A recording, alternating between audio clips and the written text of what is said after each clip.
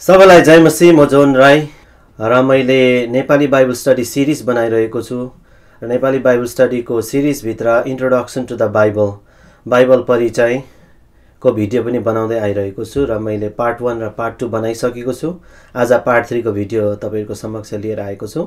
Introduction to the Bible part three Bible परिचय भाग तिन। र आज भाग तिनमा चाहिँ मैले timeline of Bible history and Bible books Bible इतिहासको कालक्रम र बाइबलका पुस्तकहरू कुन कुन कालक्रमभित्र पर्छ भन्ने सम्बन्धी यो भिडियो लिएर आएको छु। र यो भिडियोको उद्देश्य चाहिँ हामीलाई बाइबल सजिलोसँग राम्ररी बुझ्न सहायता गर्नु हो। र यदि हामीले बाइबल हिस्ट्री बुझ्यौँ र बाइबल कुन हिस्ट्रीमा चाहिँ कुन किताब कुन हिस्टोरिकल ब्याकग्राउन्डमा पर्छ भन्ने कुरा बुझ्यौँ भनेदेखि हामीलाई बाइबल पढ्न र बुझ्न धेरै सजिलो हुन्छ। सायद हामीले बाइबल पढेको धेरै भयो हामीले विश्वास गरेको पनि धेरै भयो। तर पनि हामीले ठिक प्रकारले बाइबलको कन्टेक्स्टहरूलाई बाइबलको किताबहरूलाई नबुझिरहेको पनि हुनसक्छ। र यो बुझ्न चाहिँ एकदमै आवश्यक छ। म एकदमै छोटकरीमा तपाईँहरूको समक्षमा यो भिडियो प्रस्तुत गर्नेछु। यो त अब लामो सब्जेक्ट हो तर तर मेरो भिडियोलाई म एकदमै लामो बनाउन चाहन्न म जति सक्दो छोटो बनाउने कोसिस गर्नेछु। र सबैभन्दा पहिला हामी बाइबल इतिहासमा हेर्दाखेरि उत्पत्तिको किताबदेखि सृष्टि भएको सुरु हुन्छ। संसार स्वर्ग अनि सारा यवत्वको सृष्टि भएको कुरा हामी उत्पत्तिको पुस्तक एक अध्यायबाट हामी पाउन सक्छौँ। र बाइबल अनुसार चाहिँ करिब छ हजार चार हजार बिसी या छ हजार बिसी या कमसेकम दस हजार बिसीसम्म सृष्टि भएको बाइबल विद्वानहरूले चाहिँ बताउँछ तर अब हामीले संसारको हिस्ट्री पढ्यो भनेदेखि होइन अब इभोल्युसन थ्योरी यस्ता थ्योरिजहरूले चाहिँ अब बिलियन्स अफ इयर्स एगो चाहिँ संसार सृष्टि भएको भन्छ होइन? संसार सृष्टि भएको चाहिँ एकदम धेरै वर्ष भयो भनेर बताउँछन्। तर बाइबललाई हेर्ने हो भने चाहिँ बाइबलको एकदमै सिधा डेटमा जाने भने फोर थाउजन्ड प्लस बिसी हुन्छ र कुनै विद्वानहरूले सिक्स थाउजन्ड बिसी पनि ट्रेस गर्छ। र six thousand to ten thousand बिसीसम्म चाहिँ बाइबल को इतिहास सुरु भएको बाइबल विद्वानहरूले बताउँछ। र त्यसै क्रममा अब उत्पत्तिको किताब चाहिँ हामीले डेटै गर्ने भनेदेखि चाहिँ लगभग चार हजार बिसीतिर चाहिँ उत्पत्तिको किताब लेखियो।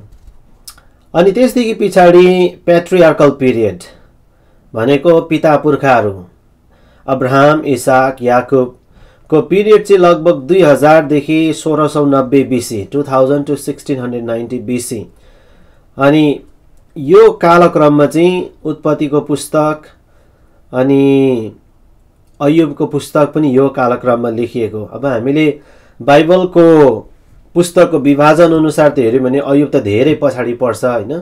अयुब भजन सङ्ग्रहको छेउमा पर्छ लगभग बाइबलको बिचमा पर्छ।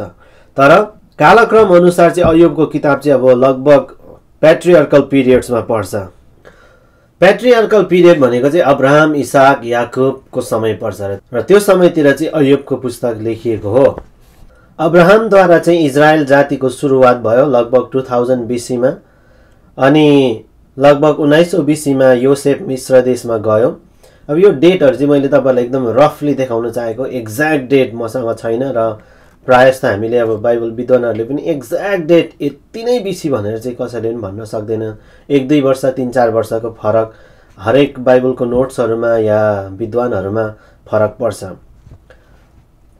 अब हामी यहाँनिर एउटा कुरा के पनि देख्न सक्छौँ भने जब हामी बाइबलको किताबहरू पुस्तकहरू पढ्न थाल्छौँ उत्पत्तिदेखि एउटा परमेश्वरको महान योजनालाई पनि हामी देख्न सक्छौँ त्यो कहिले पनि हामीले भुल्नु हुँदैन।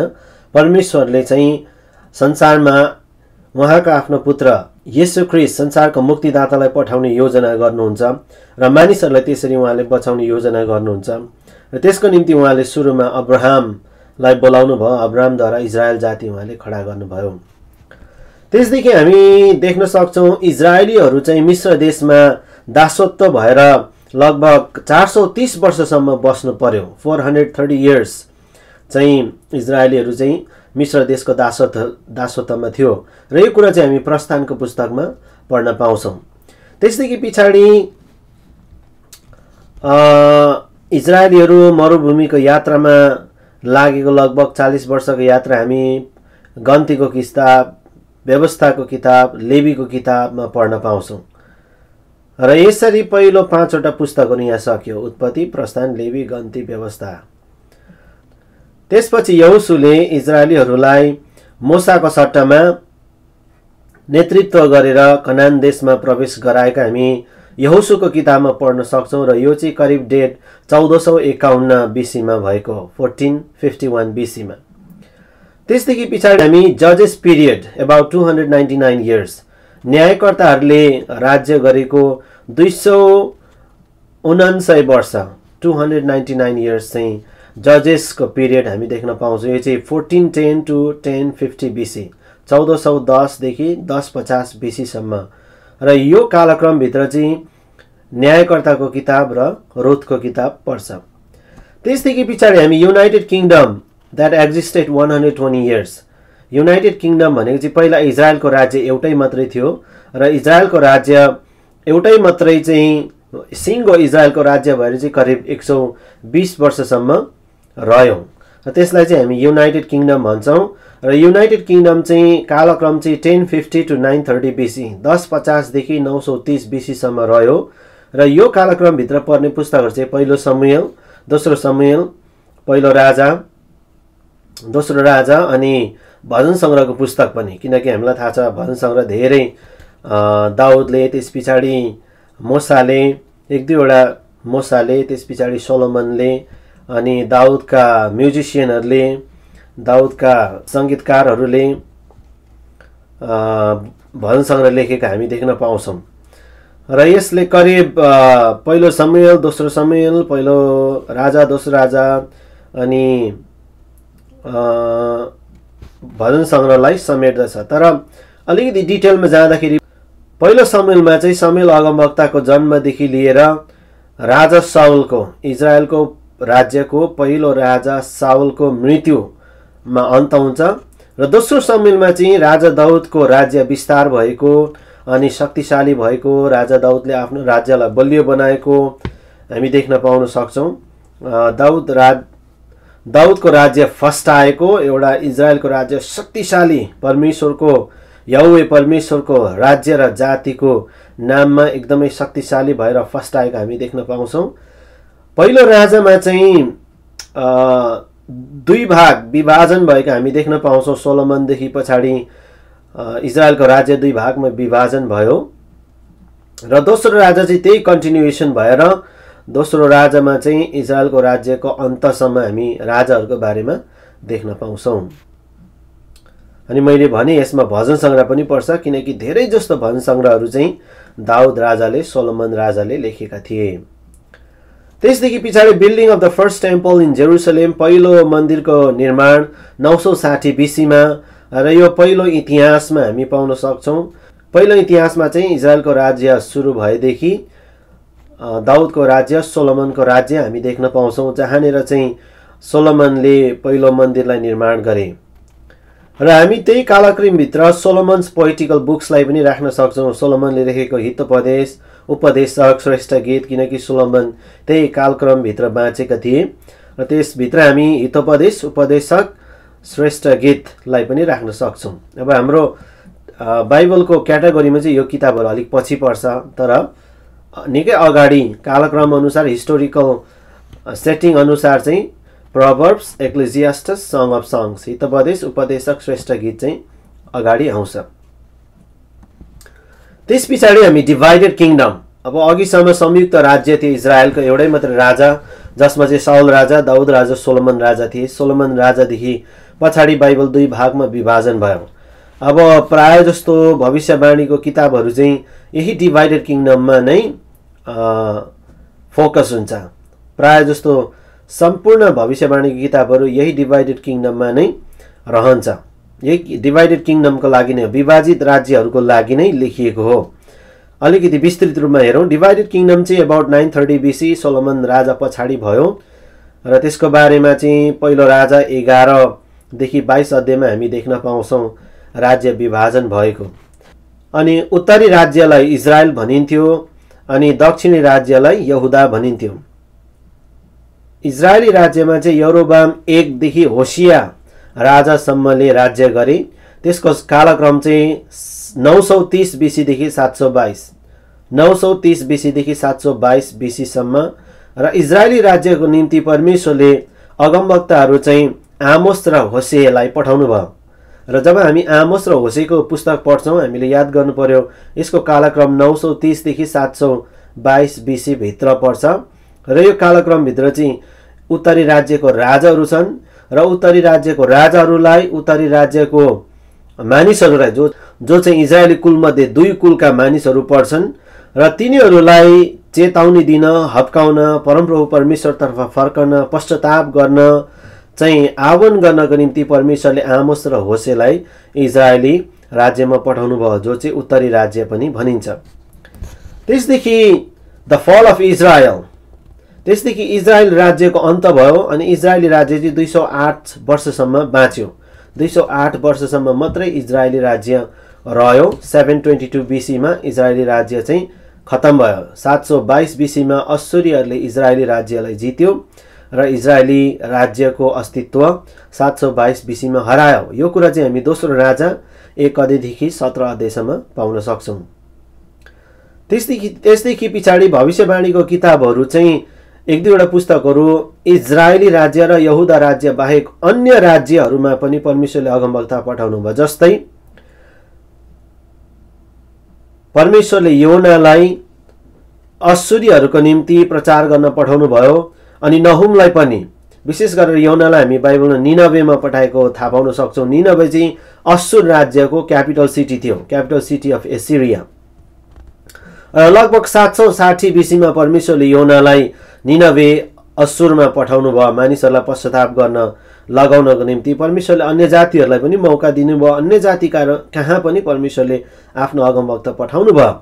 यसको मतलब सुसमाचार चाहिँ नयाँ करारमा मात्रै अन्य जातिहरू कहाँ होइन। वास्तवमा पुरानो करारमा पनि परमेश्वरले सुसमाचार परमेश्वरले अन्य जातिहरूलाई बचाउन चाहनु भएको पुरानो करारमा पनि हामी देख्न पाउँछौँ। र यौनाले गएर हामीलाई थाहा छ यौना कहानी पहिला यौना जानु मानेन पछाडि जानै पर्ने भयो अनि यौनाले पश्चात यौनाले प्रचार गरेपछि धेरै मानिसहरू पश्चाताप गरेर परमेश्वरले निनबी सहरलाई बचाउनु भयो नष्ट गर्नु भएन।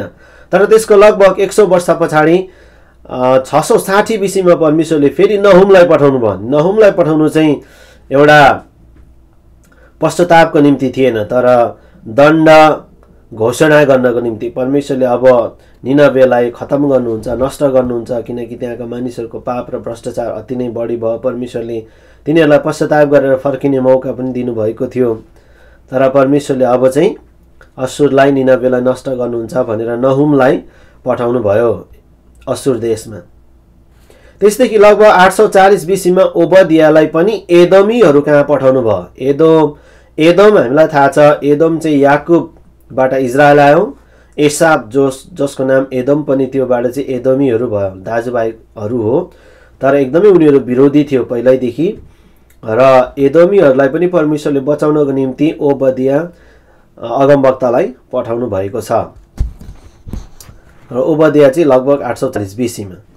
त्यसदेखि पछाडि हामी बाइबल हिस्ट्रीमा पढ्दाखेरि अघि असुरले चाहिँ इजरायललाई कब्जा गरेको थियो। असुर चाहिँ एकदम विश्व शक्ति थियो। वर्ल्ड पावर थियो। तर अब असुरको अन्त आयो अन्तको समय आयो र असुर देशलाई बेबिलोन देशले जित्यो। बेबिलोन एकदमै शक्तिशाली विश्व शक्ति भएर आयो जसले छ सौ बाह्र बिसीमा असुरलाई कब्जा गर्यो अब बेबिलोन आयो। बेबिलोनको कुरा अनुसार हामीले जो दक्षिणी राज्य छ जहाँ चाहिँ परमेश्वरका जातिहरू लगभग दसवटा कुलहरू जति थियो र जो चाहिँ वास्तवमा परमेश्वरलाई अलिक पछ्याउने जातिहरू पनि थिए जो इजरायली राज्यमा दुई भाग भएर टुक्रियो। उत्तरी राज्यलाई इजरायल भनिन्छ दक्षिणी राज्यलाई यौदा भनिन्छ। उत्तरी राज्य चाहिँ विद्रोह गरेर गएका थिए दुईवटा कुल मात्रै थिए तिनीहरू सात सौ बिसीमा खतमै भए। अब सात सौ बिसीदेखि पनि पाँच सौ छयासी बिसीसम्म चाहिँ दक्षिणी राज्यको राज्य जो चाहिँ दसवटा कुल छ जसले चाहिँ परमेश्वरलाई अलिकति आदर गर्यो परमेश्वरको आराधना गर्यो जुन देशको राजाहरू अलिकति राम्रो राजाहरू पनि थिए। हामीलाई थाहा छ हिजकिया राजा योसिया राजा आशा राजा यहोसाफात राजा यी राज्यहरू चाहिँ फेभरेट्स राजाहरू थियो दक्षिणी राज्यमा जसले चाहिँ धेरै राम्रो काम परमेश्वरमा मानिसहरूलाई फर्काए पश्चाताप गर्न लगाए परमेश्वरतर्फ डोर्याए यी राजाहरूले। र यो राजाको पिरियडमा चाहिँ बेबिलोन देश आयो। बेबिलोन विश्व शक्ति भएर आयो। र दक्षिण राज्यमा चाहिँ रहोबाम सोलोमनको छोरादेखि लिएर सिधकिया राजासम्म राज्य गरे उनीहरूले लगभग थ्री हन्ड्रेड फोर्टी फोर इयर्ससम्म रह्यो। तिन सौ चौवालिस वर्षसम्म चाहिँ यहुदै यहुदाको दक्षिणी राज्य रह्यो। र यसको कालक्रम चाहिँ नौ सौ तिस बिसीदेखि लिएर पाँच सौ छयासी बिसीसम्म नौ सौ तिस सोलोमन राजाको राज्य पछाडिदेखि लिएर पाँच सौ छयासी बिसी। पाँच सौ छयासीमा चाहिँ बेबिलोनले खतमै गर्यो यहुदालाई पनि। यहुदा पनि त्यहाँदेखि नाउँ निशानै हरायो। तर यसमा चाहिँ मैले तपाईँहरूलाई देखाउन खोजिरहेको के छ भने प्रि एक्जाइलिक प्रफिट्स भविष्यवाणीको किताब यसैदेखि मलाकीसम्म हामी तिन भागमा विभाजन गर्न सक्छौँ। पहिला pre exilic prophets pre exilic भने चाहिँ एक्जाइलमा जानुभन्दा अगाडि प्रि भनेको बिफोर एक्जाइल भनेको कैद। अब इजरायलीहरू कैदमा गयौँ। हामीलाई थाहा छ। अनि कैदमा जाँदाखेरि चाहिँ इजरायलीहरूलाई चाहिँ बेबिलोनले कैद गरेर लग्यो। तर त्यो कैद गरेर लानुभन्दा अगाडिको प्रफिट्सहरूलाई चाहिँ प्रि एक्जाइलिक प्रफिट्स हुन्छ। कैदमा जानुभन्दा अगाडिको भविष्यवक्ताहरू जस्तै नाम के के थियो भन्दा यसया यर्मिया बेला पनि त्यही भित्र पर्यो। योवेल मिका हबकुक सपन्य। तपाईँले धेरै कम्ती नाम देख्नुभयो। यसया यर्मिया इजकेल दानियल हराए अलिक पछाडि आउँछ त्यो। अनि बिलाप योवेल आमोस अघि सक्यो आमोसलाई परमेश्वरले इजरायलको निम्ति पठाउनु भयो होसेलाई इजरायलको निम्ति पठाउनु भयो मिका नहुम अघि हामीले हेऱ्यौँ सरी मिका चाहिँ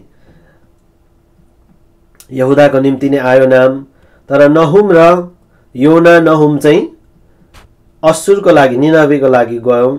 त्यहाँबाट हबकुक र सपने यहुदाको लागि आयो। यहुदाको लागि चाहिँ यसया यर्मिया बिलाप यौवेल मिका हबकुक सपन्य।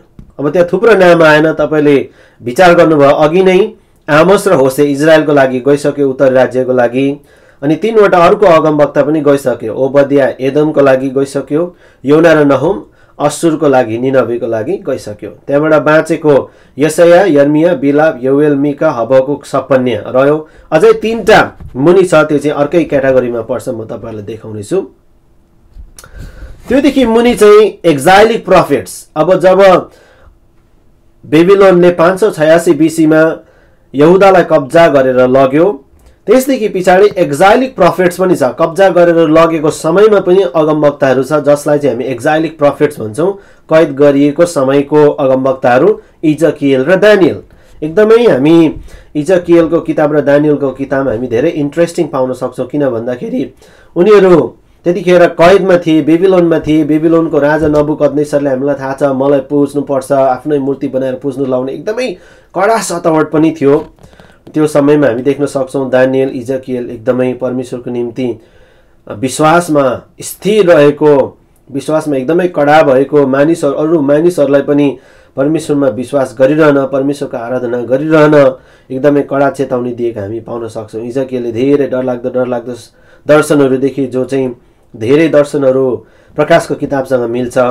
अनि दानियलले पनि धेरै डरलाग्दो डरलाग्दो दर्शनहरू देखेको छ। अनि दानियलको दर्शनहरूमा चाहिँ यो जो हामीले विश्व शक्ति राज्यहरूको कुरा गरिरहेको छौँ असुर राज्य बेबिलोन राज्य त्यसदेखि पछाडि आउँछ पर्सिया राज्य त्यसदेखि आउँछ ग्रिस राज्य त्यसदेखि रोमी राज्य। यो सबैको बारेमा पनि दानियलले दर्शन देखेको पनि हामी नौ अध्यायमा दानियल नौ अध्यायमा पाउन सक्छौँ। र यो चाहिँ पाँच सौ छयासी बिसी तिरको कुरा हो।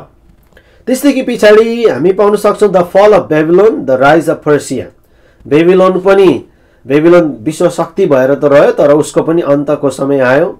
लगभग पाँच सौ पचास बिसीमा पर्सिया र मादीहरूले बेबिलोनलाई जित्यो। अनि यो समयमा चाहिँ तिनवटा इतिहासको किताबहरू एजरा नेहेमिया एस्तर चाहिँ यो समयमा आउँछ। अब हाम्रो बाइबलको क्याटेगोरी अनुसार चाहिँ बाइबल विभाजन अनुसार चाहिँ एजरा नैमे एस्तर धेरै अगाडि आउँछ होइन? अयुबभन्दा अगाडि एजरा नैमे एस्तर अयुब आउँछ। तर अब इतिहास अनुसार इतिहासको कालक्रम अनुसार चाहिँ एजरा नहिमे एस्तर चाहिँ भर्खर आउँदैछ पाँच सौ पचास बिसीतिर। त्यहीदेखि पाँच सौ पचास पचास बिसीदेखि पछाडि। जहाँ चाहिँ बेबिलोन विश्व शक्ति राज्य नष्ट भयो पर्सियाले जित्यो। पर्सियाले जितेपछि राजा कोरेस आयो। राजा कोरेसले अब यहुदी जो कैदमा थियो कैदमा बेबिलोनहरूले ल्याएको थियो।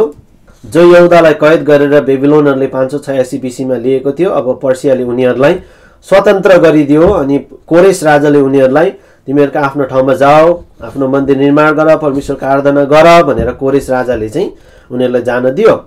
अनि जान दिँदाखेरि पहिलो नेतृत्व गर्ने एजरा थियो। एजरा चाहिँ स्क्राइब्स थियो शास्त्री थियो। वचनको पढ्ने वचन अध्ययन गर्ने।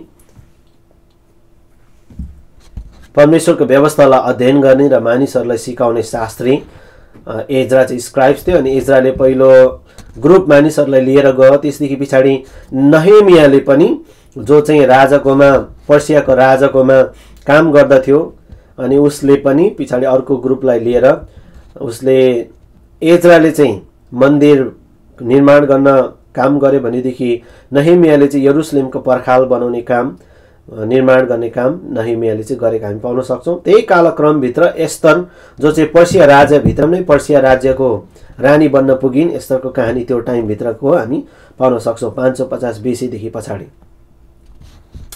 त्यसदेखि फेरि पनि यरुसलेमको मन्दिर एजरा नहिमियाद्वारा बनाउन सुरु गर्यो पाँच सौ पन्ध्र बिसीमा। अब सुरुमा हामीले अघि कतिखेर हेऱ्यौँ भन्दाखेरि पहिलो मन्दिर अघि हामीले हेऱ्यौँ पहिलो मन्दिर चाहिँ नौ सौ साठी बिसीमा सोलोमनले बनाएका थिए जो हामी पहिलो इतिहासको पुस्तकमा पाउन सक्छौँ। त्यो नष्ट भयो पाँच सौ छयासी बिसीमा बेबिलोनहरूले नष्ट गर्यो। तर फेरि एजरा नहेमिया फर्केर गएर पाँच सौ पचास पछाडि बिसीमा गएर चाहिँ त्यसदेखि फेरि पछाडि एजरा नहेमिया लगभग पाँच पाँच सौ पन्ध्र बिसीतिर फर्केर गएर भत्किएको यरुसलेमको मन्दिरलाई पुनर्निर्माण गर्ने काम गरे। त्यस पछाडि हामी पोस्ट एक्जाइलिक प्रफेट्स पाउन सक्छौँ। भविष्यवाणी किताबहरूलाई तिन भागमा विभाजन गऱ्यौँ प्रि एक्जाइलिक कैदमा जानुभन्दा अगाडिको भविष्यवक्ताहरू एक्जाइलिक प्रफेट्स जो चाहिँ कैदमा गइसके पछाडि र कैदमा जो चाहिँ इजकियल र दानियल थिए। अब पोस्ट एक्जाइलिक पोस्ट एक्जाइलिक पनि सजिलो छ। हागै जकरिया मलाकी अन्तिम तिनवटा अगमवक्ताहरू र पोस्ट एक्जाइलिक कैद पछाडि हागै जकरिया मलाकी एक्जाइलिक कैदमा हुँदाखेरि इजकिल र दानियल बाहेक अरू सबै प्रि एक्जाइलिक भनेको कैदमा जानुभन्दा अगाडि चाहिँ धेरै भविष्यवक्ताहरू थिए अगमवक्ताहरू थिए। किन भन्दाखेरि धेरैले चाहिँ गएर उनीहरूलाई पश्चाताप गर इजरायलीहरूलाई यहुदीहरूलाई पश्चाताप गर होइन? भने परमेश्वरले तिमीहरूलाई बेबिलोनीको हातमा सुम्पिदिनुहुन्छ। पश्चाताप गर पश्चाताप गर जहिले पनि उनीहरूले गएर चेताउने हप्काउने कामहरू मात्रै गरे। कहिले पनि इजरायलीहरूले सुनेन। पाँच सौ छयासी बिसीमा उनीहरू उनीहरूको देश उनीहरूको राज्य सबै नाउनिसा नै खतम भयो। यरुसलेमको मन्दिर नष्ट भयो। तर फेरि पछाडि पाँच सौ पन्ध्रमा इजरा नहेमियाद्वारा मन्दिरको पुनर्निर्माण भयो। त्यसदेखि पछाडि लगभग पाँच सौदेखि चार सौ बिसीसम्म हागै जकरिया मलाकी लाई परमेश्वरले भविष्य वक्ताको रूपमा सेवाकाई गर्न पठाउनु भयो। उनीहरूको काम चाहिँ अब के थियो भन्दा एउटा कुरा चाहिँ मन्दिर निर्माण गर्नको निम्ति हौसला दिने बनाउन हौसला दिने उत्साह दिने अनि त्यो समयभित्र पनि मानिसहरूलाई परमेश्वरको आराधना गर्नको निम्ति प्रोत्साहन गरिरहने चेतावनी गरिरहने उनीहरूको सेवकाई थियो हगाई जकारिया र मलाकीको त्यसदेखि पछाडि the fall of Persia the rise of Greece. अब पर्सिया पनि अन्त भयो। तिन सौ बिसीतिर पर्सियालाई ग्रिस राज्यले जित्यो। अनि ग्रिस राज्यले जितेपछि लगभग सिक्सटी थ्री बिसीमा फेरि ग्रिसलाई पनि रोमी राज्यले जित्यो। The fall of Greece the rise of Romans. रोमी राज्यले सिक्सटी थ्री बिसीमा जित्यो। त्यसदेखि पछाडि Herod the great ruler of Judea. यहुदा यहुदियाको चाहिँ एउटा शासकको रूपमा हेरोद राजालाई रोमीहरूले खटाए लगभग सैतिस बिसीमा भयो। र लगभग यहाँनिर हामी चार सौ बिसी जस्तो हामी ग्याप देख्न सक्छौँ यसलाई इन्टर टेस्टामेन्टल पिरियड दुईवटा टेस्टामेन्टको बिचको पिरियड भन्छौँ जो चाहिँ चार सौ वर्ष थियो त्यसलाई कति मानिसहरूले डार्क पिरियड पनि भन्छ अन्धकारको अँध्यारो समय पनि भन्छ किनभने परमेश्वर कुनै पनि अगमवक्ताहरूसँग चार सौ वर्षसम्म बोल्नु भएन। त्यस्तै हामी देख्न सक्छौँ रोमीको राज्यको पालोमा द बर्थ अफ जिजस येसुको जन्म लगभग चार सौ बिसीमा। रोमीहरूको पालामा चाहिँ येसुको जन्म लगभग चार बिसीमा हामी भएको देख्न पाउँछौँ। र यो कुरा चाहिँ येसुको जन्मको कुरा चाहिँ हामी मत्ती मर्कुस लोक्का युन्ना सुसमाचारको पुस्तकमा हामी येसुको जन्म येसुको सेवकाई येसुको मृत्यु येसुको पुनरुत्थान र येसुको स्वर्गरोहण चाहिँ हामी मत्ती मर्कुस लुका यौनाको सुसमाचारको पुस्तकहरूमा पाउन सक्छौँ। र येसुको स्वर्गरोहण चाहिँ लगभग ट्वेन्टी नाइन एडी उन्तिस एडीतिर भएको थियो। त्यसदेखि पछाडि church established and spread to Judea and Samaria मण्डली स्थापना भयो अनि मण्डली यहुदिया सामरियामा बढेर गएको फैलिएर गएको हामी देख्न पाउँछौँ। यसको कालक्रम तिसदेखि अडचालिस एडीसम्म अनि प्रेरितको किताब एकदेखि बाह्र अध्यायसम्म हामी यो पाउन सक्छौँ। मण्डलीहरू यौदिया र सामरियासम्म फैलिएर गएको। त्यसदेखि हामी पावल्स थ्री मिसनरी जर्नी। पावलले गरेको तिनवटा मिसनरी यात्राहरूको पिरियड छ forty eight to sixty sixty two AD. Forty एटदेखि sixty two एडीसम्म अडचालिसदेखि बयासाठी एडीसम्म। यो चाहिँ हामी किताब पुस्तक चाहिँ प्रेरित तेह्रको तेह्र अध्यायदेखि अठाइस अध्यायसम्म। प्रेरित तेह्र अध्यायदेखि अठाइस अध्यायसम्म चाहिँ पलको तिनवटा मिसनरी जोड्नीहरू जो चाहिँ अडचालिस एडीदेखि बैसाठी एडीसम्म भएको थियो। अब हामीले यो बुझ्यौँ भनेदेखि पलको तिनवटा मिसनरी जोर्नी अडचालिस एडीदेखि बयसाठी एडीसम्म जसको बारेमा प्रेरित तेह्र अध्यायदेखि अठार अठाइस अध्यायसम्म पाइन्छ। यो बुझ्यो भनेदेखि धेरै जस्तो पत्र पनि हामी बुझ्न पाउँछ त्यहाँदेखि उता पाउलले लेखेको पत्रहरू छ। जम्मा पाउलले लेखेको चौधवटा पत्रहरू छ। यदि हेब्रु पनि पाउलले लेखेको भनेर मानिलिने हो भनेदेखि चौधवटा पत्रहरू।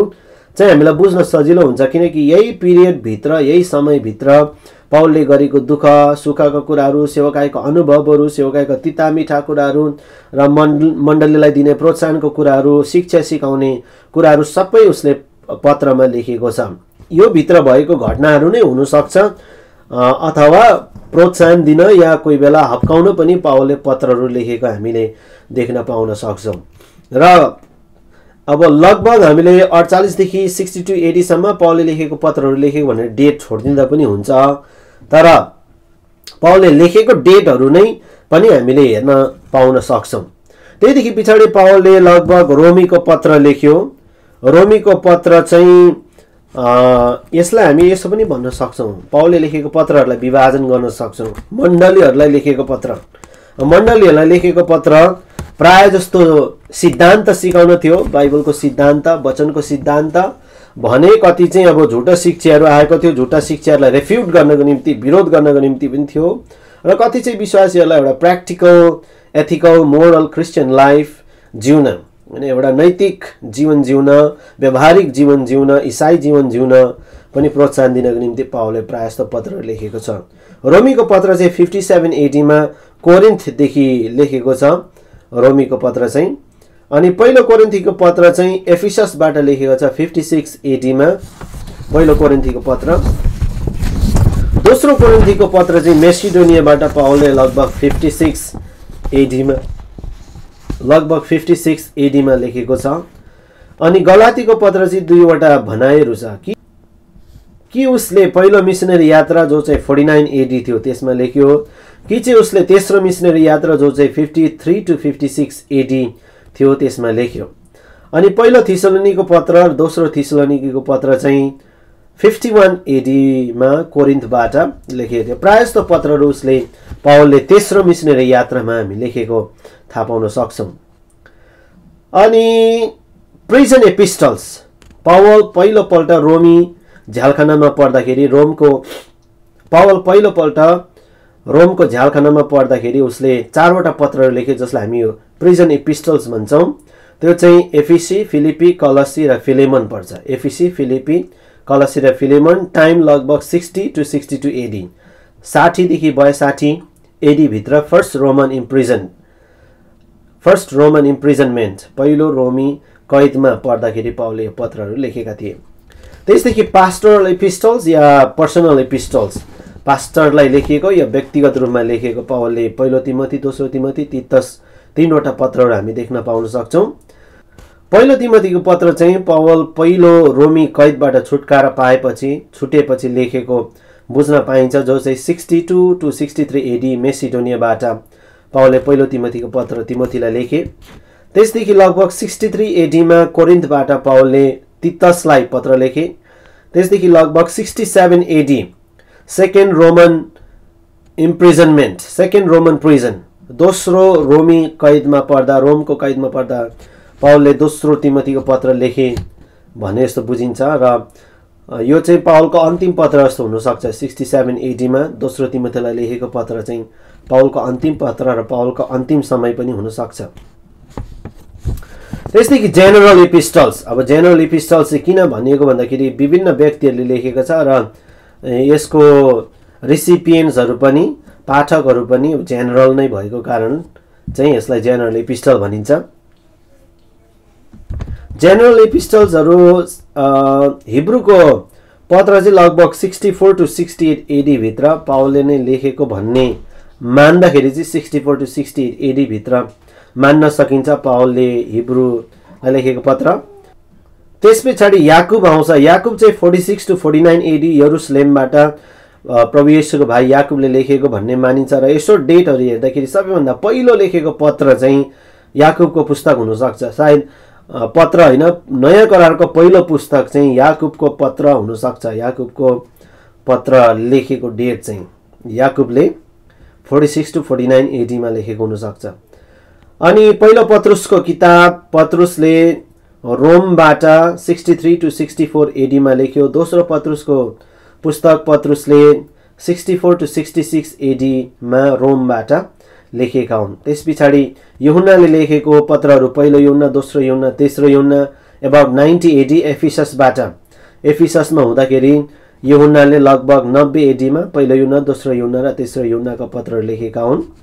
त्यसदेखि पछाडि यहुदाको पत्र आउँछ जो चाहिँ sixty six to eighty AD प्रभु यीशुको भाइ यहुदाले sixty six to eighty AD भित्रमा यहुदाको पत्र लेखे भन्ने मानिन्छ। र अन्तिममा प्रकाशको पुस्तक ninety five to ninety six AD Patmos island. Patmos भन्ने टापुबाट चाहिँ यहुनाले प्रकाश पाएर लेखेको प्रकाश ninety five to ninety six AD भनेर हामी बुझ्न सक्छौँ। तपाईँहरूलाई इतिहास थाहा छ भनेदेखि सबैभन्दा लामो उमेरसम्म बाँच्ने चाहिँ प्रवेशुको चेलाहरूमध्ये युहुन्ना हो। अरू सबै चेलाहरूलाई मारियो शहीद हुन पुगे उनीहरू विश्वासको निम्ति र ख्रिसको निम्ति। त्यसै गरी यहुन्ना पनि धेरै सतावटमा परेर उसलाई धेरै प्रकारले मार्ने कोसिस गर्दा नमरेर उसलाई पद्मस भन्ने टापुमा लगेर छोडिदिएको थियो जहाँ चाहिँ धेरै क्रिमिनल्सहरूलाई पनिसमेन्ट दिने ठाउँ थियो त्यहाँनिर मान्छेहरू आफै मर्थे भनेर। र युहुन्नालाई पनि त्यहाँ लगेर छोडियो ninety five to ninety six एडीमा उसले त्यहाँबाट प्रकाशको पुस्तक लेखेका हुन्।